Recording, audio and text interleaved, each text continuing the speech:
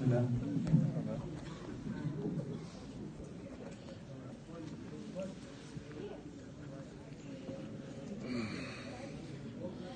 might want to tilt it forward a little bit, yes, sitting back a little bit.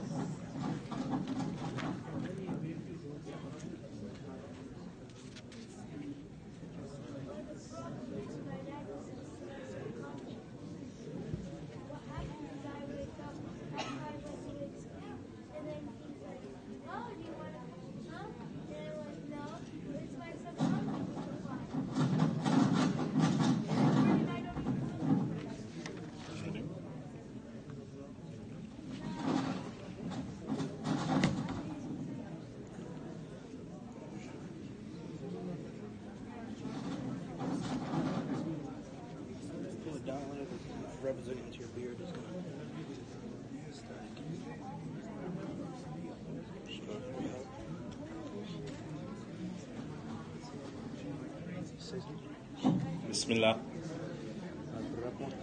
Bismillah. Are you using this one too? Yeah. Okay.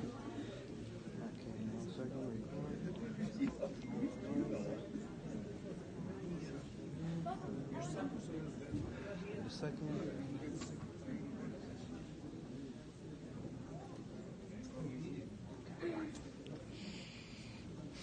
السلام عليكم ورحمة الله وبركاته. الحمد لله رب العالمين.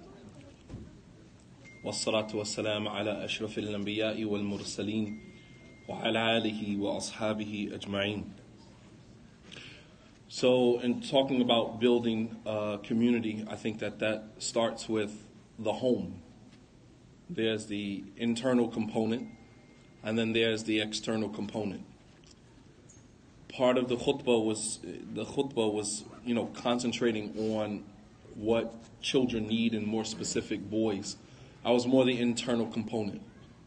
I think as a islamic community we put a lot of emphasis on the masajid programs social services the services that the masjid can offer.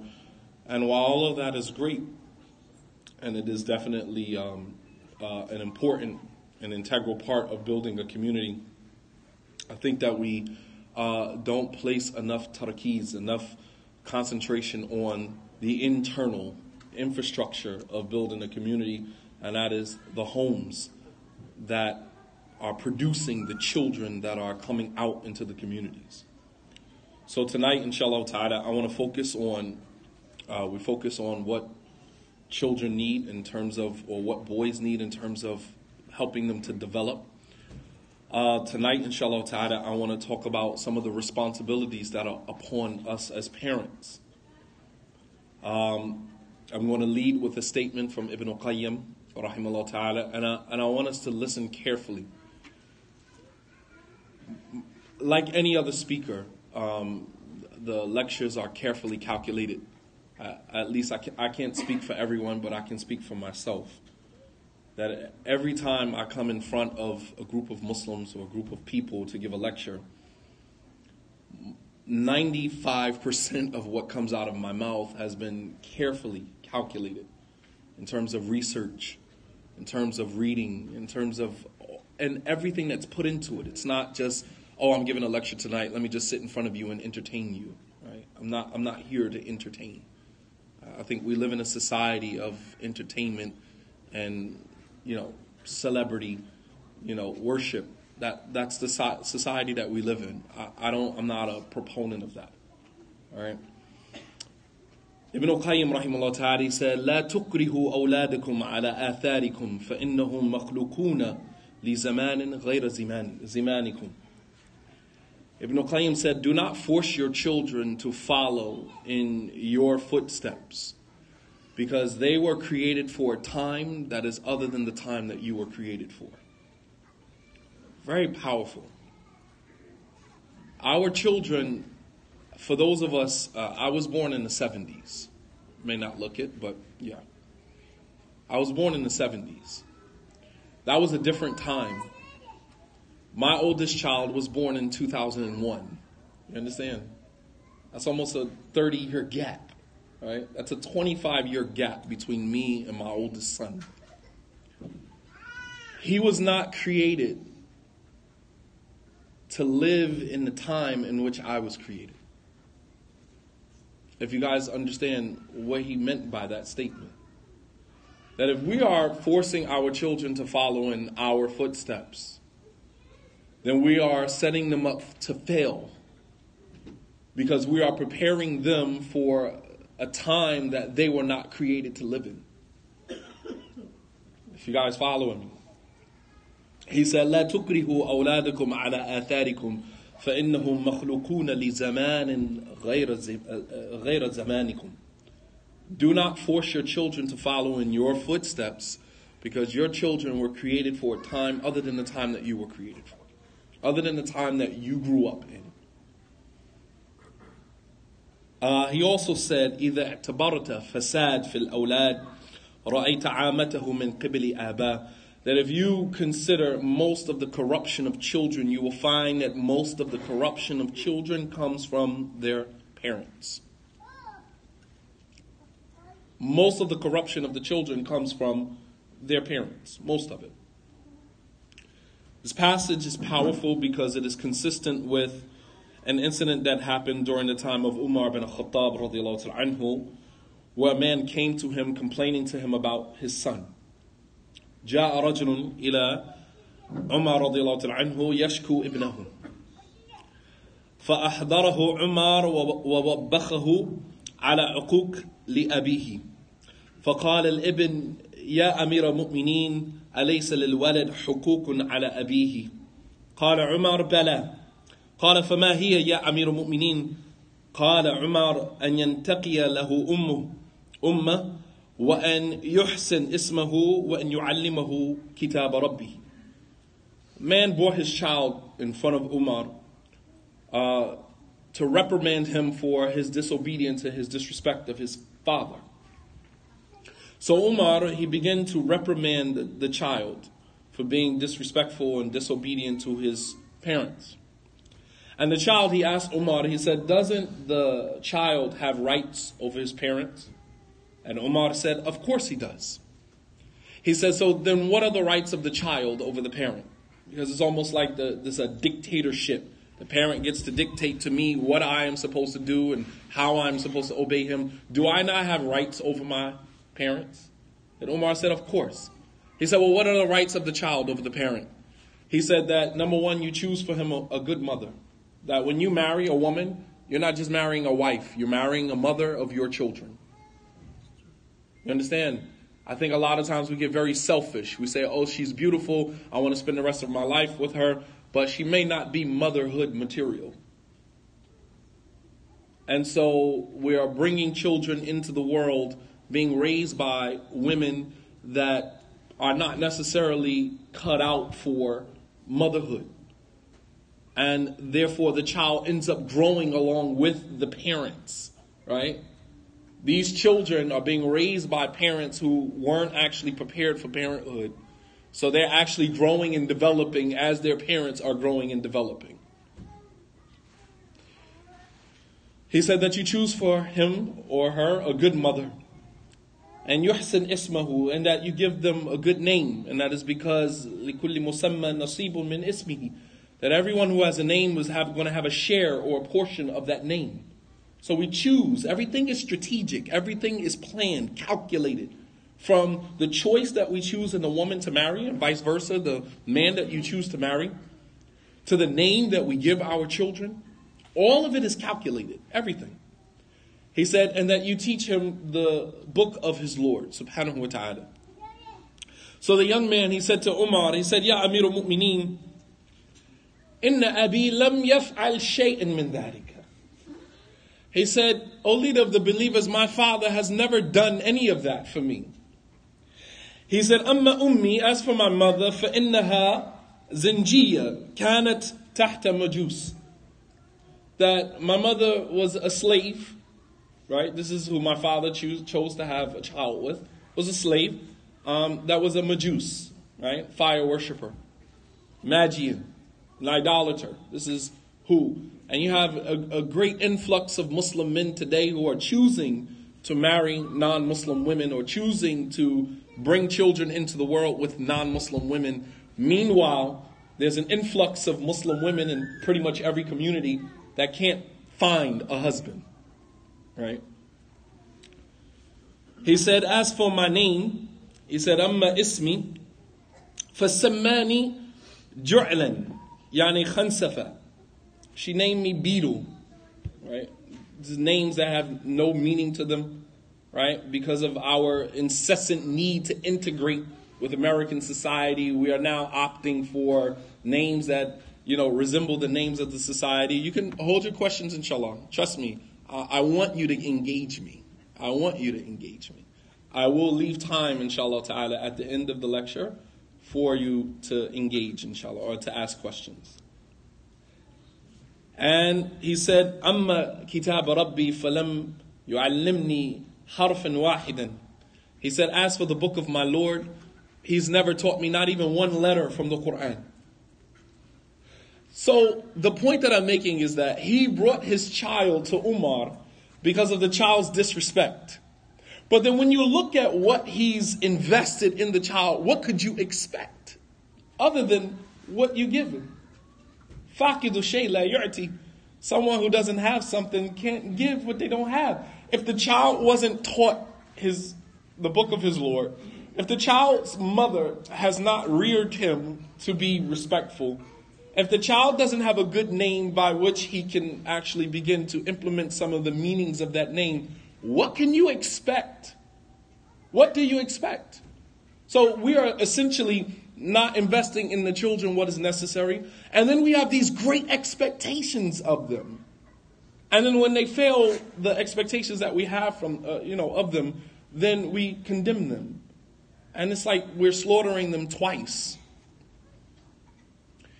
So Umar radiallahu ta'ala, he turned to the father and he said, he said, جِئْتَ لِتَشْكُ عُقُوق ابْنَكْ وَقَدْ أَقَبْتَهُ قَبْلَ أَنْ يُعَقِّقُكَ He said, you, you brought your child to me to complain to me about his disrespect of you and, you know, his disobedience to you when you were disobedient to your child before your child was ever disobedient to you. You were disrespectful to your child before your child was ever disrespectful to you. So the next time we think as parents about reprimanding our children because of their behavior, because of how they act, then you have to look at yourself first and foremost and ask yourself, did I rear this child to act like this? And if you did, then you get exactly what you deserve. And if you didn't, then, you know, there's some other things that we need to look at. So when we're talking about raising children, the first thing that children need is, uh, or the first responsibility upon us as parents is to teach our children good adab. teach them good character. And I don't mean in theory by sitting down with a book and saying this is the character of the Prophet ﷺ and this is what you're supposed to do. That's theory. And uh, as, as Einstein said, to do something over and over expecting a different result is insanity.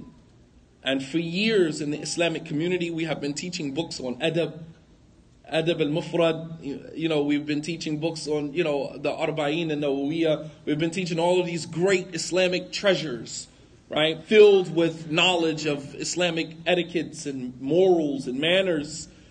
Uh, and all to no avail. We, we're not seeing this manifest in, in, in terms of our children. I teach at an Islamic studies. Uh, I teach as an Islamic studies teacher at an Islamic school in Delaware, and I can tell you, as a teacher who engages children on a day-to-day basis, that it's not manifesting. And you got to understand, like, where's the disconnect at? And believe it or not, the disconnect is at home. Because the parents drop the children off at school and expect us to be the parent. My job is not to be the parent of your child. My job is to build on the foundation that you have already created in your home. That's my job. But teachers spend more time being, you know, nurturers and cultivators and mu'addibin in the classroom than we do mu'allimin in the classroom. We're doing more teaching of morals and manners and etiquettes, basics of Islam that Muslim children should know. We spend more time doing that than we actually do, you know, carrying out or executing our lesson plans. And it's not fair. It's not fair to you who is you're paying your money to send your children to an Islamic school. And it's not fair to the child because we can't get through most of the curriculum because we're spending so much time trying to correct behavior that should be corrected at home. Um, so Islamic character is uh, the utmost importance to the point that Ibn Qayyim rahimahullah ta'ala said, "Man fi khuluq faqad faqaka fi din." That whoever outdoes you in good character has in fact outdone you in deen because character is deen. The character of Islam, it is the religion completely. All right? And albeit there are some characteristics with our children that are innate, that are just part of their wiring, their biological wiring. Um, some children are just sarcastic. Some children are just, you know, have an attitude. That's some. There's something that's just about them that that is not going to change. All right, but with understanding that, we can begin to influence. And this was taken from a hadith where the Prophet ﷺ said to one of his companions, Ashaj Abdul Qais, he said, "Inna fika khaslatayn yuhibbuhum Allah al-hilm wa anat." فقال يا رسول, يا رسول الله أقديم هذا أم حديث يعني هذا قبل الإسلام أو بعد الإسلام هذا قديم أم حديث قال بل قديم He said that you have two qualities that Allah loves. You possess two qualities that Allah loves. He said, Al-hilmu wa anat. Al-hilm is, is to be forbearing, to be tolerant of other people right? You have some people who are just naturally like that. They have a high level of tolerance. Well, and that, and you're very deliberate. Before you make decisions, you weigh pros, cons, you look at all of the angles before you actually make a decision. And he asked the Prophet hadith, did I, was I created like this? Or was this something that I learned and I developed later on? And the scholars extract from that, that behavior, character are two types. There's either that which is part of the biological wiring of the child, part of who they are, and then there's what is known as learned behavior, what they pick up from their immediate environment in the home, what they pick up from around, being around their siblings, and what they pick up from their peers, and what they pick up in the outside environment, meaning home, uh, meaning uh, their neighborhood, school, and like and, and etc. So the Prophet ﷺ, he said, No, this is qadim. This is something that you had with you. You were created like this. And he said, All praise is due to Allah who has uh, created me with two qualities that he loves. SubhanAllah. All praise is due to Allah, subhanahu wa ta'ala, who created me with two qualities that he loves. So we want to be able to have an impact, an influence on the behavior of our children, and that starts with dua. And Ramadan is the month of dhikr, the month of dua, the month of recitation of Quran. Take advantage of the opportunity. One of the great contemporary scholars of Islam, uh, Sheikh Saleh Fawzan, he said, أن الصلاح الذرية كان محال الاهتمام للأنبياء عليهم الصلاة والسلام فهذا خليل الله إبراهيم عليه السلام فإنه كان يدعو أن يرزقه ولدا صالحا that uh,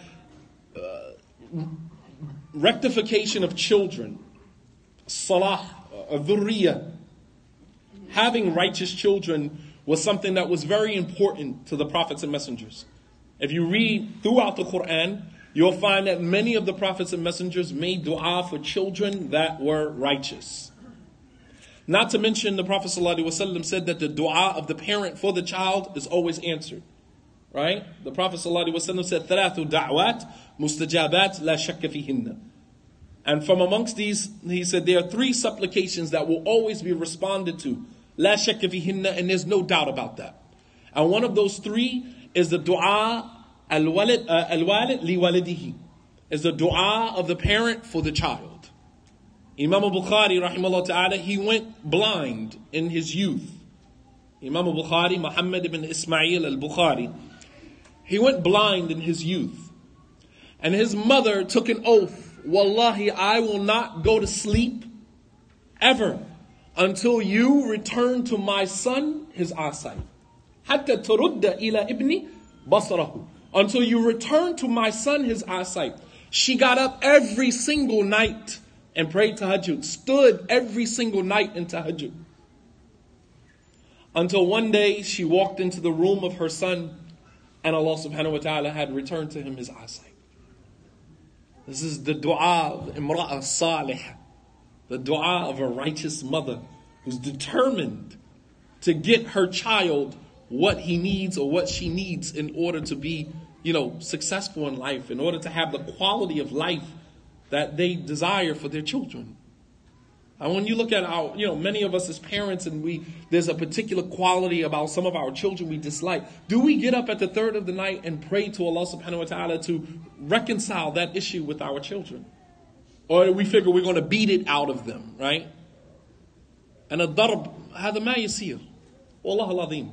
Beating the child is number one, not appropriate. Number two, statistically it has shown, it has proven counterproductive.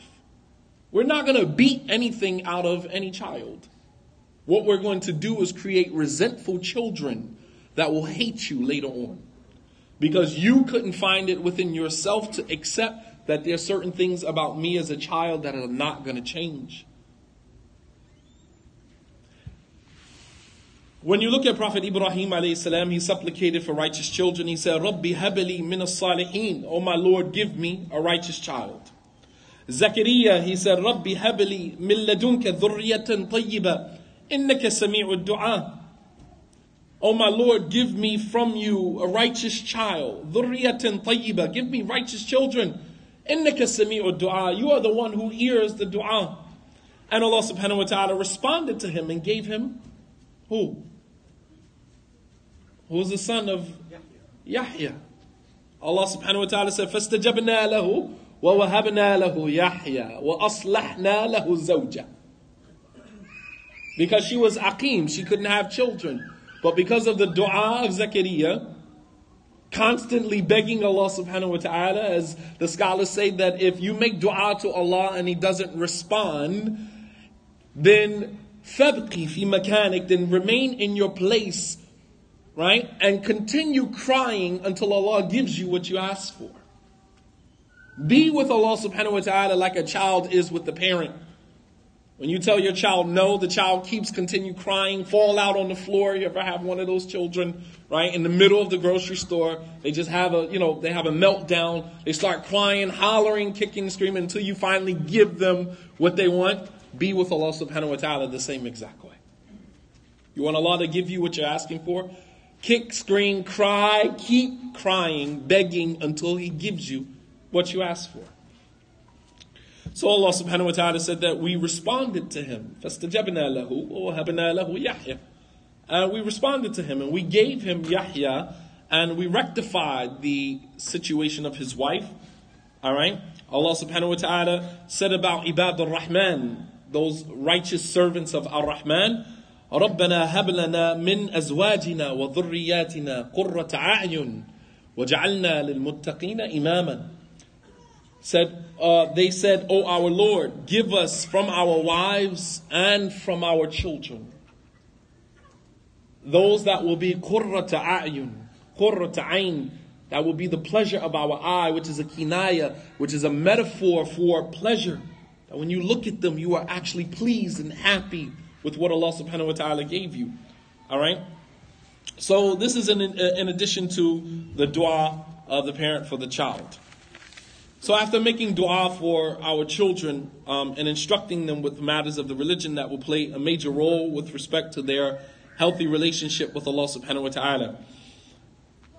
Allah says in the Quran, وَاذْكُرْ فِي الْكِتَابِ إِسْمَعِيلِ إِنَّهُ كَانَ صَادِقَ الْوَعْدِ وَكَانَ رَسُولًا نَبِيًّا وكان يأمر أهله بالصلاة والزكاة وكان عند ربه مرضيا And mentioned in the book of Ismail that indeed he was Sadiq al-Wa'd. He was someone who was truthful in his promise. وكان رسول النبي and he was a prophet and a messenger. وكان يأمر أهله بالصلاة. He used to command his family with salah and zakat. وكان عند ربه مرضيا and he was pleasing to his Lord. So it's not just about making dua for righteous children, but after you make dua, you have to put in the work. Right? It's not simply just making dua and then just leaving it to Allah subhanahu wa ta'ala. When we supplicate to Allah subhanahu wa ta'ala and He responds, we have to do the work.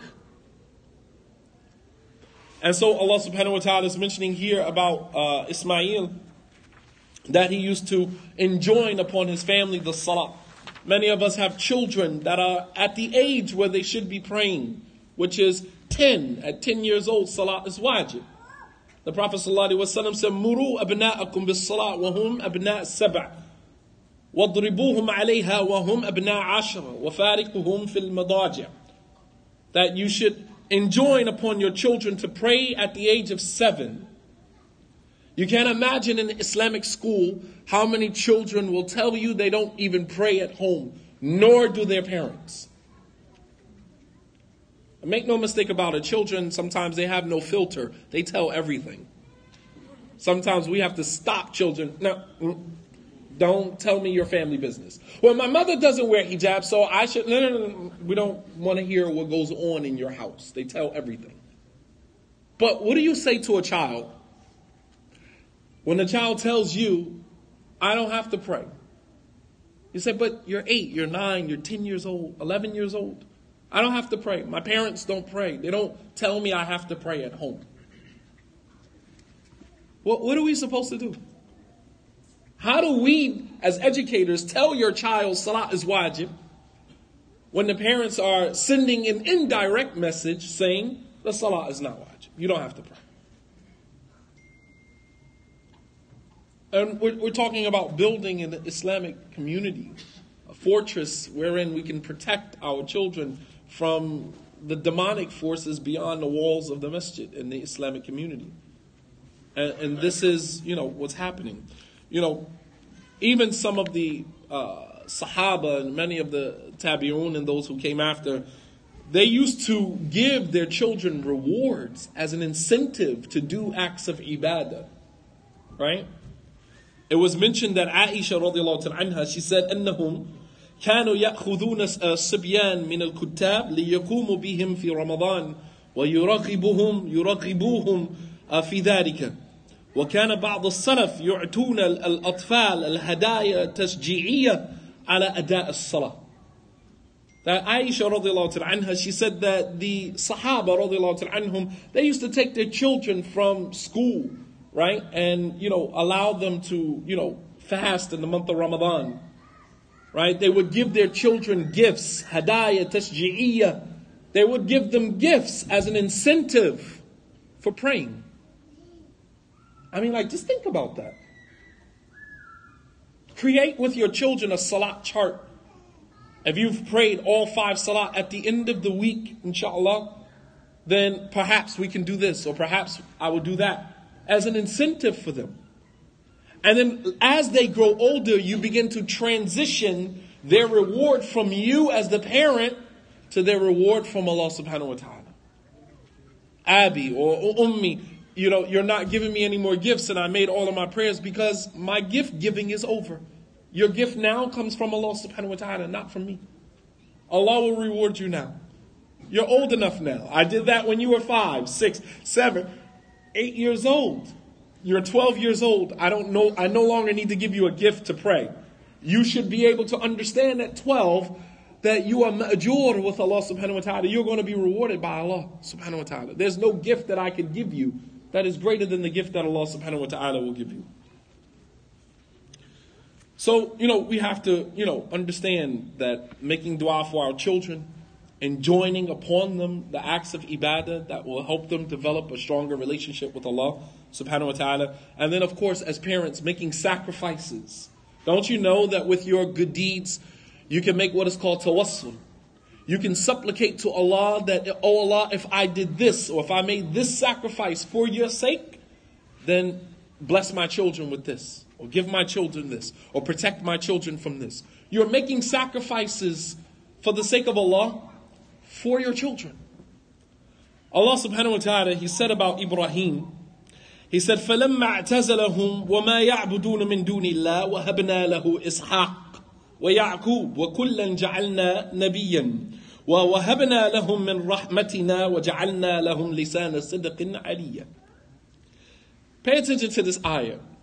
Allah subhanahu wa ta'ala said, And when Ibrahim began to distance himself from his father and his people and what they worshipped, this was a sacrifice. Sometimes you have to distance yourself, sometimes from even from the people that you love, because they begin to infringe on your relationship with Allah subhanahu wa ta'ala. A true friend, a true family member should complement your journey to God, not complicate your journey to God. You understand? A true friend, a true family member, right? Allah subhanahu wa ta'ala told Prophet Noah, إِنَّهُ لَيْسَ مِنْ أَهْلِكَ Your son is not from your family. إِنَّهُ عَمَلٌ غَيْرَ الصَّالِحِ He has deeds that are not righteous. He's not your family. And this was his son. Showing you that sometimes even your own biological family members, you have to draw a line between you and them because they begin to infringe on your relationship with Allah subhanahu wa ta'ala. He said he's not from your family. Some of us use that as, as an excuse to continue carrying on relationships with people that are family members, even though you know that their relationship with you creates a rift between you and Allah subhanahu wa ta'ala. Sometimes we have to separate ourselves, distance. And sometimes distance, you know, creates a gravitational pull. Sometimes when you distance yourself from someone, they miss you and they begin to realize that the reason why you separated yourself from them was because of things that they were doing and perhaps they will take a look at that.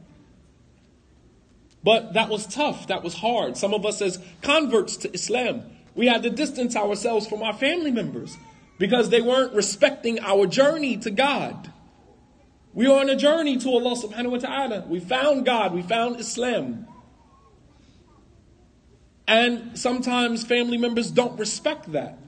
So sometimes you have to create a little distance from you and them. And, and that's heavy. That's heavy, especially when you grow up in a close knit family unit. It's heavy.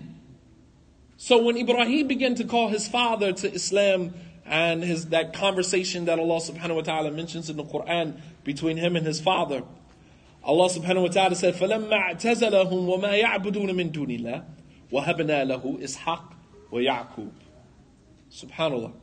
That when Ibrahim distanced himself from his father and his, his family and what they used to worship, that was a sacrifice. Allah said, وَهَبْنَا لَهُ إِسْحَاقَ We gave him Ishaq. And Ya'qub. وَكُلًّا جَعَلْنَا نَبِيًّا And both of them, we made them prophets.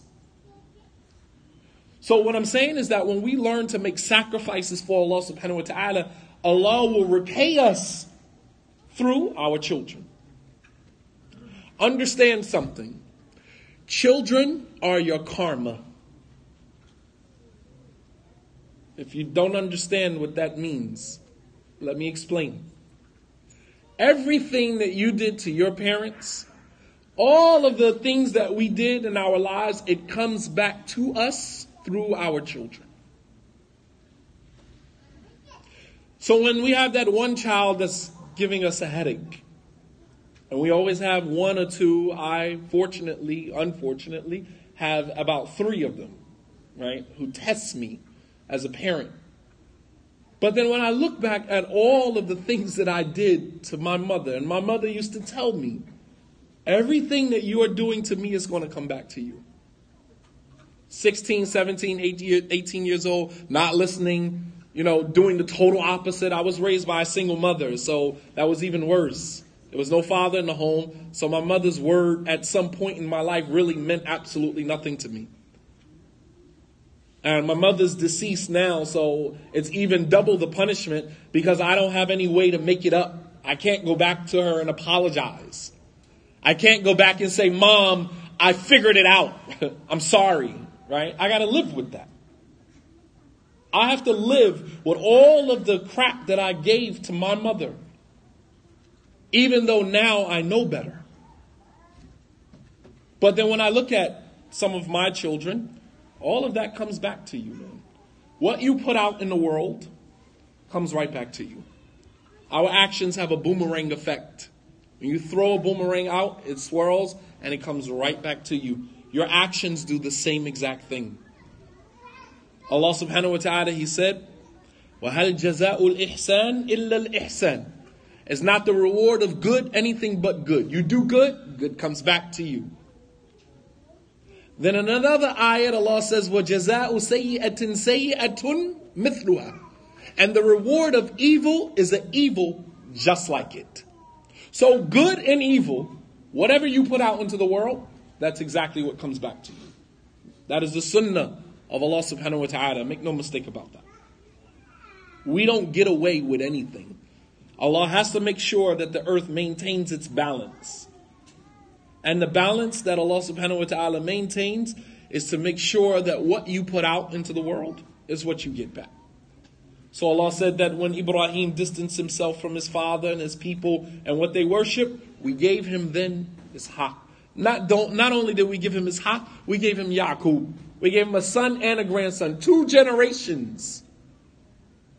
And we made both of them a prophet. Two generations. We're struggling with one generation right now, but learning how to make sacrifices that will endure, you know, with your children. So that's that's that. The next thing that we need to focus on, or the responsibility that we have as parents, is to make sure that our children have firm belief in Allah subhanahu wa ta'ala. Right now, in this society, there, um, there was a show called Game of Thrones. There, this is the society that is the game of souls, because that's what you are gambling with. You are gambling with your soul in this environment right here. The Prophet ﷺ prophesies that there will come a time where a man would sell his religion, essentially selling his soul for a share of this dunya. He said, Yabi'u dinahu bi'ardin min ad-dunya. He'll sell his deen for a share of this world. And we know many Muslims who have fallen into that right now. You've sold your soul for a share of this dunya, trying to integrate into this society, trying to get non Muslims to in, in, embrace you and welcome you. So we'll accept this group and accept this ideology, accept this belief, even though we know it contradicts Islam. We'll accept it because we think that this is how we are going to be a part of the fabric of American culture. Sadly, it's really sad, honestly. Because the Prophet ﷺ predicted that this is exactly what would happen. He said, لَتَتَّبِعُونَ سُنَنَ مَنْ كَانَ قَبْلَكُمْ شِبْرًا بِشِبْرٍ وذراعا بذراع حتى إذا دخلوا جحر الضب لدخلتموه قال من هم يا رسول الله اليهود والنصارى قال فمن إذا لم يكن هؤلاء فمن He said, You will follow the traditions of the people that came before you. Shibran bi shibrin, hand span by hand span, arm's length by arm's length. that if they were to crawl into the hole of a lizard, a lizard hole, in modern writing, we have something that's called the rabbit hole. The Prophet ﷺ used the lizard hole, right? It's a cultural reference to his environment. That if they were to enter into a lizard hole, meaning if they were to engage in behaviors that mala yusaddiqul aql, that the intellect would never even accept, then you would follow them in it. No matter how absurd, no matter how idiotic, you would follow them. The Sahaba said, Who are you referring to, a messenger of Allah? Jews and Christians? He said, Who else? Who else would I be referring to? And here we are today, right? Muslims who celebrate Christmas. MashaAllah, tabarakallah. No, Wallah al I, I laugh to keep from crying. It's, it's that sad. Shay mubki. Jiddan. Because we are afraid to say, with all due respect, I don't celebrate Christmas. Those few little words. We would rather say, Merry Christmas to you too. Instead of saying, with all due respect, I don't celebrate. Or, you know, enjoy your holiday. I, I don't I don't celebrate. But because we can't do that. Because we want to be compl- we want to be embraced and accepted. But the we should focus on the belief system of our children because our children, the difference between our children becoming slaves to this environment and this society and being slaves to Allah subhanahu wa ta'ala is how deeply they are able to connect with Allah subhanahu wa ta'ala. Our belief system is connected to our core values. As Muslims, much of what is being lost today through our complete integration into this society when you look at the natural or the predisposition that Allah created us with, every human being was created believing in God. The Prophet ﷺ said, ما من مولود إلا يولد على الفطرة فأبواه يهودانه أو ينصرانه أو يمجسانه That there's no child except that he or she is born not Muslim. Stop saying born Muslim. They're not born Muslim. They're born with a predisposition they're born with a predisposition, pre exposed to belief in God. Believing in God does not make you a Muslim. Allah says, وَمَا يُؤْمِنُ أَكْثَرَهُم بِاللَّهِ إِلَّا وَهُم مُشْرِكُونَ Most of them do not believe in God except that they associate partners with Him. So simply believing in God does not make you a Muslim. That is Tawheed al-Rububiyyah. What is expected of you is Tawheed al-Uluhiyyah. That once you recognize that God is there, once you recognize that Allah is omnipresent, omnipotent, and all of the great qualities that we describe Him with, once you recognize that, now you serve Him. That is what makes you a Muslim. Because you make a conscious decision to serve Allah subhanahu wa ta'ala. Not you make a conscious decision to recognize He's there. That's part of your predisposition as a child. All right? So our job essentially in giving da'wah is not to make people believe that God exists, but to make people, because they believe that God exists, understand that there's a responsibility that comes along with that, which is to serve Him. And notice the Prophet ﷺ didn't say that the parents make him a Muslim, because he is already on the fitrah, the belief of Islam, which is to believe in one God. That there's no child except that he is born with a predisposition to believe in Allah and it is his parents that make him a Jew, a Christian, or a Magian, a fire worshiper. Thus, it is the parents' responsibility to ensure that this predisposition does not change and that we nurture it and cultivate it with correct knowledge of Allah subhanahu wa ta'ala so that they have the value system that will allow them to be effective in this society and not affected by the ills of this society. All right? Ibrahim alayhi salam, he left the legacy of Tawheed with his children, with his progeny. Allah says in the Quran, وَوَصَّى بِهَا يعني التوحيد وَوَصَّى بِهَا إبراهيم يعقوب بنيه يعقوب ويعقوب إن الله اصطفى لكم الدين فلا تموتن إلا وأنتم مسلمون. And Ibrahim, he left, he advised his family, and so did Yaqub, his children, Inna Allah lakum ad-din. That Allah has already selected for you your religion. فَلَا تَمُوتُنَّ إِلَّا وَأَنْتُمْ مُسْلِمُونَ Do not die except in a state of total submission to Allah subhanahu wa ta'ala. Because that's what being Muslim is about. Being Muslim is not being peaceful. And I don't want to hurt anybody. And I just want to be accepted. And please accept me. Islam means peace. Stop with the placating the feelings of other people. Stand in your discomfort. Understand some people are not going to accept that. And that's okay. Truth goes through three stages. Number one, it's going to be ridiculed. People are going to call you crazy. They called the Prophet ﷺ sahirun, majnoon. They called him insane. They called him a poet. Called him a kadhab. They called him a liar. It's going to be ridiculed. The second is that it is violently opposed. People are going to wage war against you. And here we are today. Islamophobia and Islam being attacked, the hijab, the Muslim woman being oppressed.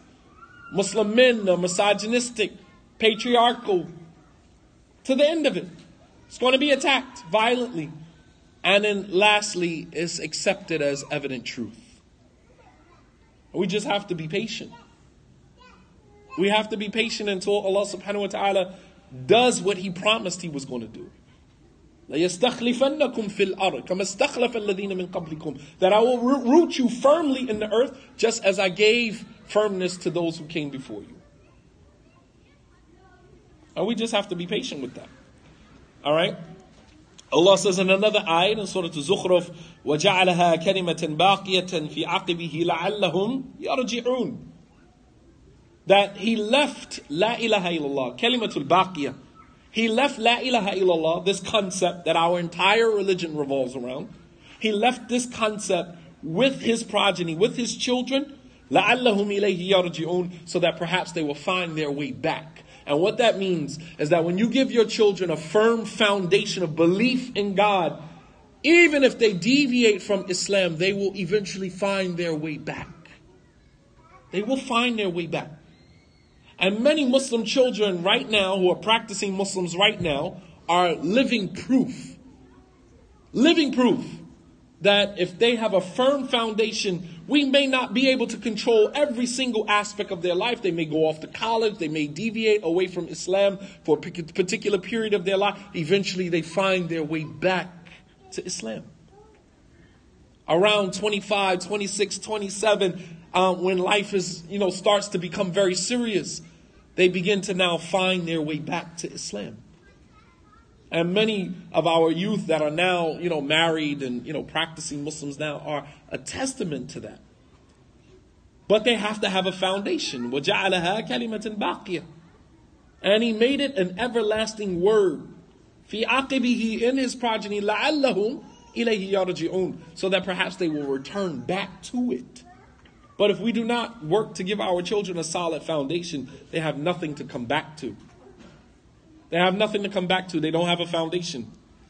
Prophet Yaqub salam left this legacy amongst his children. Allah captured the final advice of Prophet Yaqub to his children, a glimpse at the concern of a parent for the spiritual well-being of their children. Allah subhanahu wa ta'ala says, أَمْ كُنْتُمْ شُهَدَاء إِذْ حَضَرَ يَعْقُوبَ الْمَوْتِ إِذْ قَالَ لِبَنِيهِ مَا تَعْبُدُونَ مِنْ بَعْدِي Were you present at the time when death came to Ibrahim, uh, came to Yaqub, and he said to his children, What are you going to worship after I'm gone? ما تعبدون من بعدي What are you going to worship after I'm gone? قالوا نعبد إلهك وإله آبائك إبراهيم إسماعيل إسحاق إلها واحدا ونحن له مسلمون they said, We will worship your Lord and the Lord of our forefathers. We can see that there was a, a history. This was passed down generation to generation. May not, every generation is not going to embrace it with the same enthusiasm as the generation before it. But the foundation is there. The foundation is there. Likewise, Luqman alayhi salam, if you look at uh, Luqman uh, in the Quran, Allah subhanahu wa ta'ala captures in Surah Luqman a conversation between him and his son. Allah subhanahu wa ta'ala says, uh, that, uh, and remember when Luqman was advising his son, وَهُوَ يَعِذُهُ Ya bunayya la tushrik billah. Inna shirka la dhulmun azim. When remember when Luqman was advising his son and he said to his son, "Do not associate partners with Allah. I don't care what else you do. You may fall into this, you may fall into that, and the bad, the door of Toba is always open. As for shirk, la wallahi. And the the child will, and I mean, like when you look at Muslim children today, they are beyond committing shirk. It's pure kufr.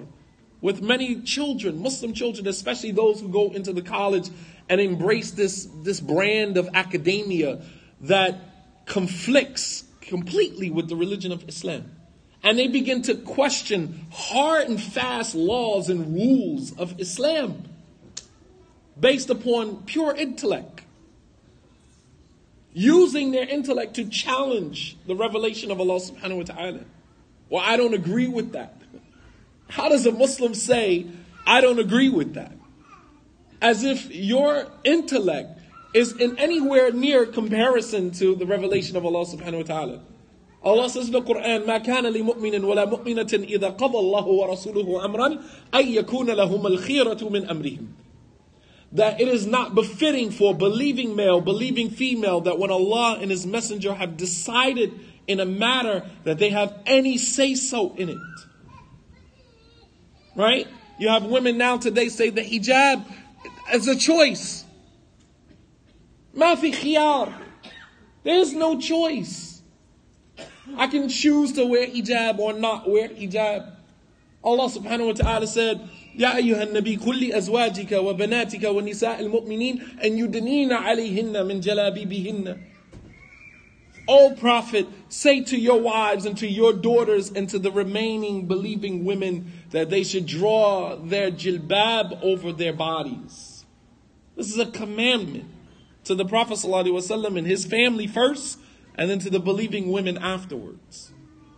Aisha said, Rahimallah uh, al-muhajirat al-uwal. May Allah have mercy upon the migrating women, the early generation of the migrating women. That when Allah revealed the ayat of hijab, these women, some of them only had the garment they had on their back. And when Allah revealed the ayat of hijab, they tore the bottom of their garment and they begin to cover their hair with it. Subhanallah. And today, our daughters, our sisters, will have a whole closet full of abaya, right? And say, well, I don't feel like wearing it today. It's my choice. Allah says that is not befitting for believing male, believing female, that when Allah and His Messenger have decided an affair, that they have any choice in the matter. So for those that truly believe, they realize I don't have a choice. And that is what it means to be a Muslim. To submit, to realize that you have free will, but you have now aligned your will with the will of God. Therefore, you don't have free will. You understand? I don't have free will. Yes, I can choose. But when you align your free will with the will of God, there is no freedom of choice. You choose whatever God chooses. Someone asked me, well, what do you say about gay Muslims? I say exactly what God says. What does Allah say about same sex uh, uh, relationships?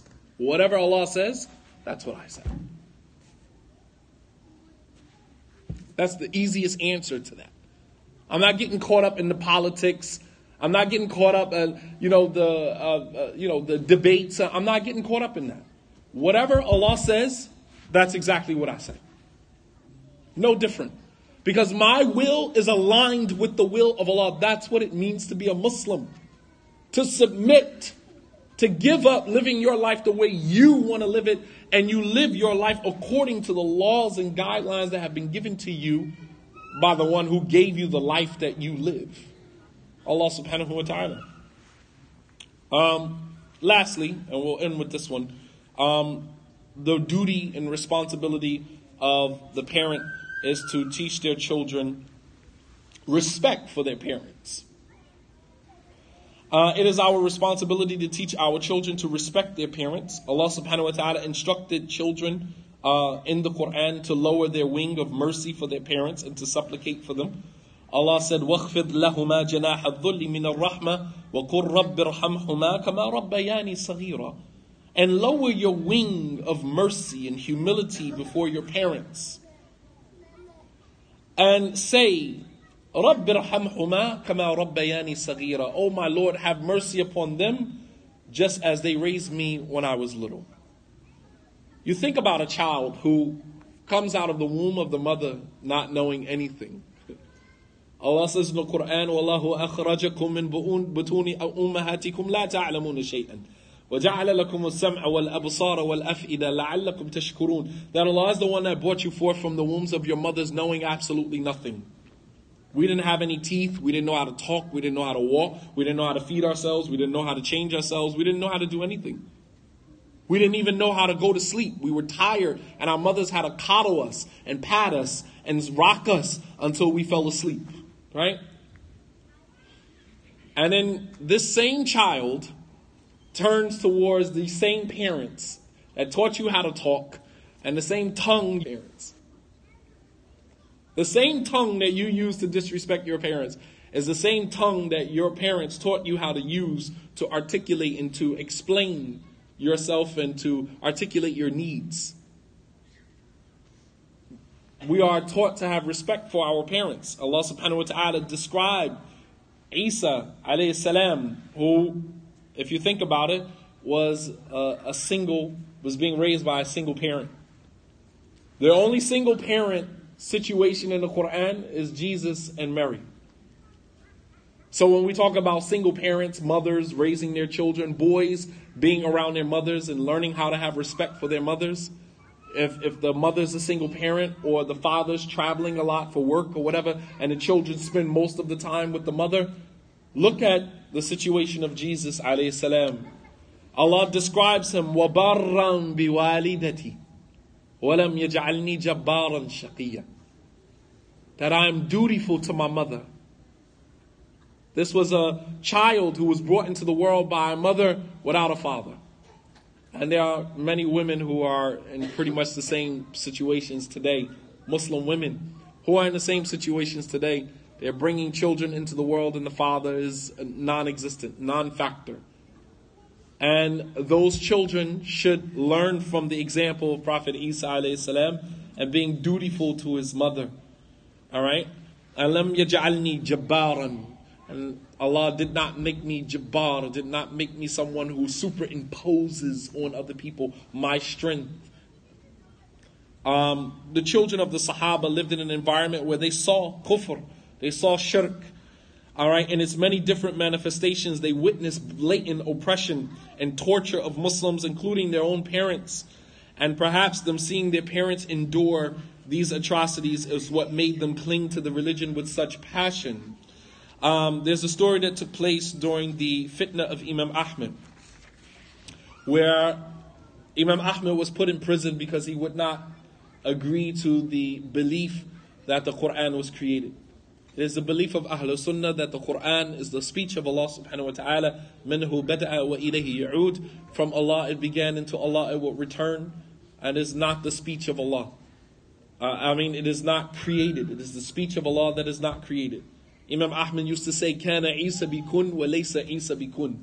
That Isa was created with the word be, and Isa is not the word be because Isa is created. And if we said Isa was the word, then that would mean that Allah's speech is created because Isa is created. It's, it's to that point, bidikka, with such precision, the scholars of the past were very diligent in making that distinction. Nonetheless, Imam Ahmed said to his son one day, he said, Rahimallah abu Haytham, Ghafarallahu li Abi Haytham. So his son said to him, Ma huwa Ya abati, ma huwa Abu Haytham?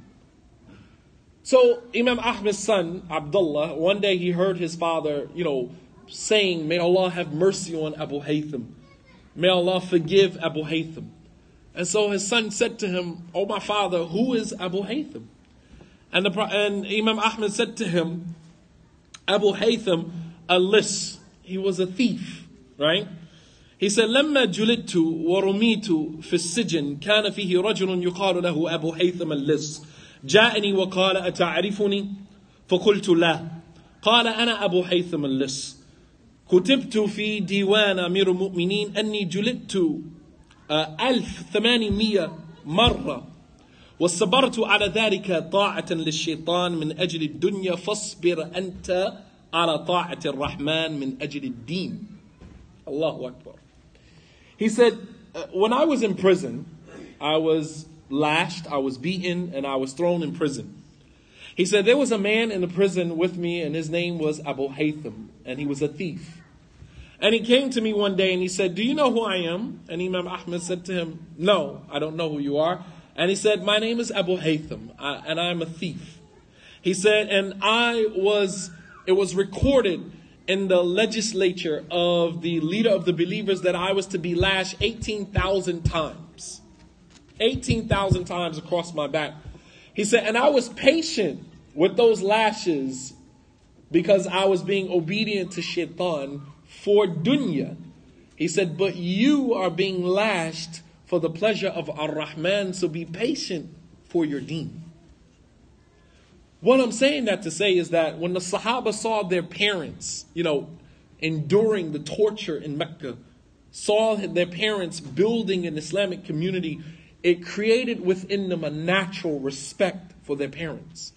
When our children see us constantly complaining about what the masjid is not doing, how bad the community is, never giving sadaqah, never contributing, you know, volunteering our time, when our children see that, they themselves do not have a respect for the masjid, the Islamic community, and not even us as parents.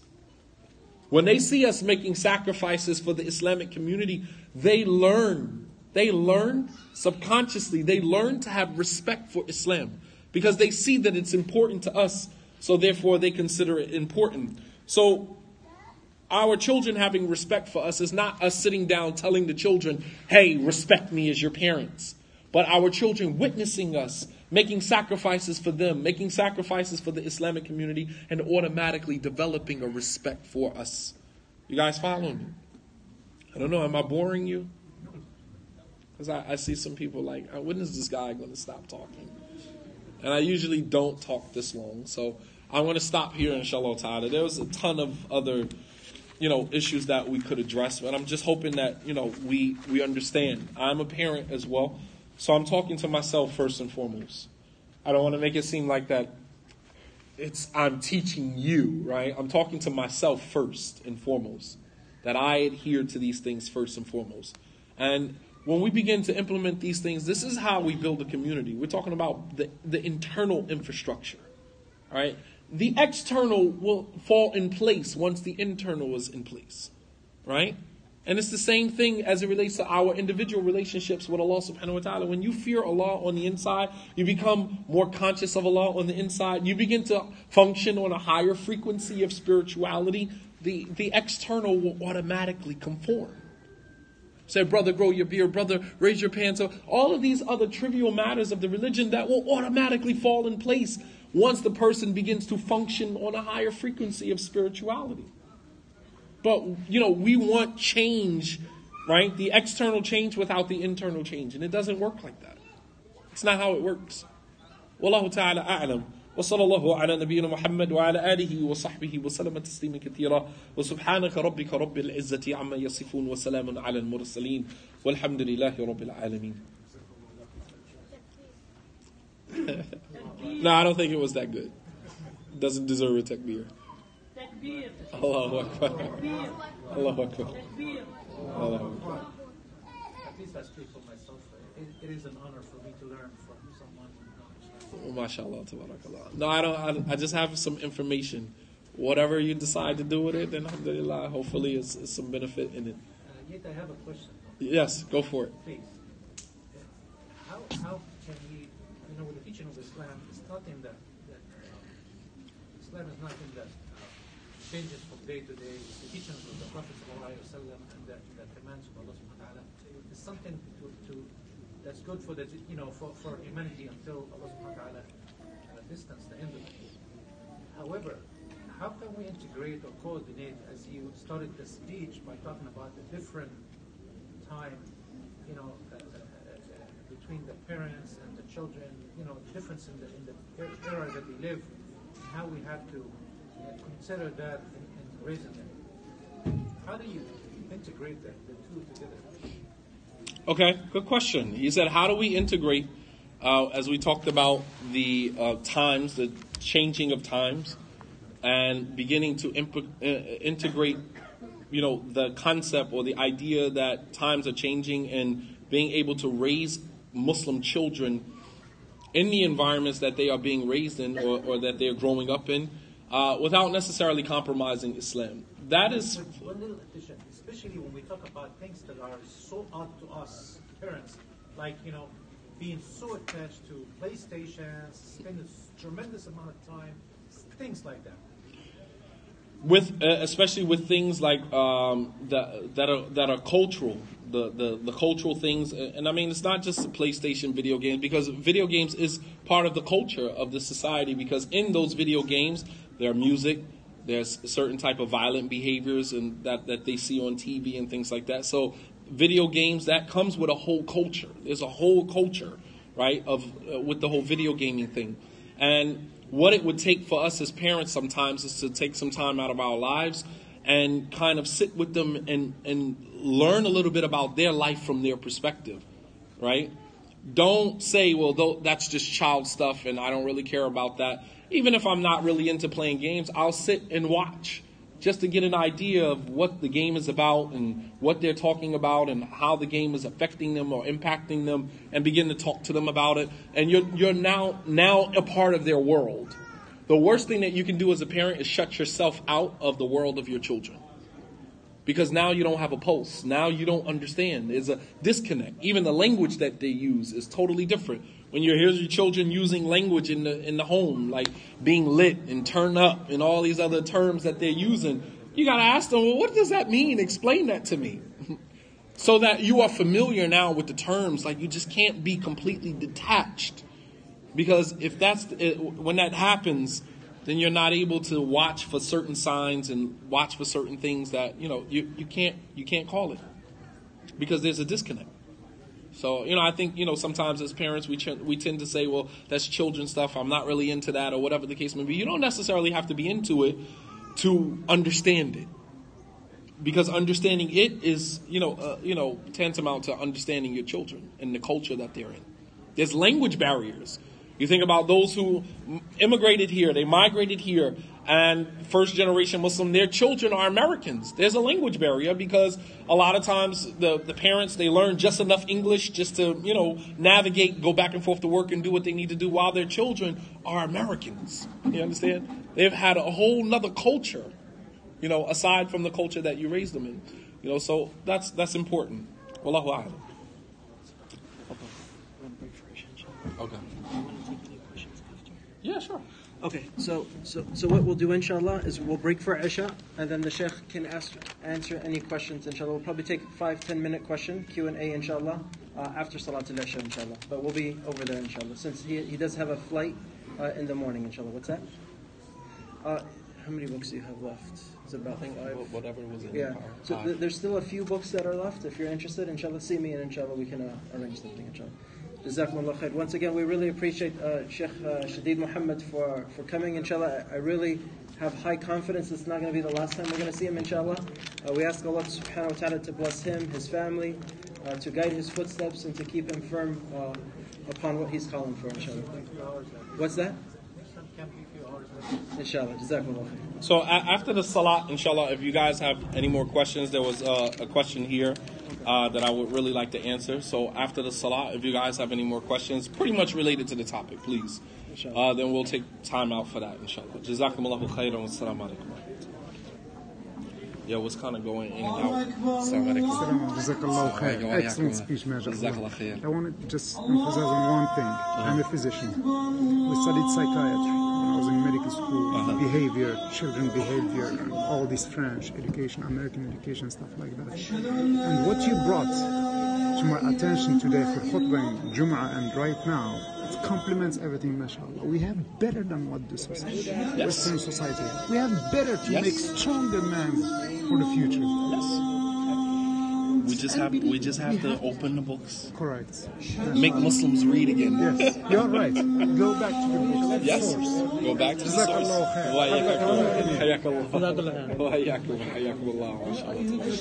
Yeah, it's recorded.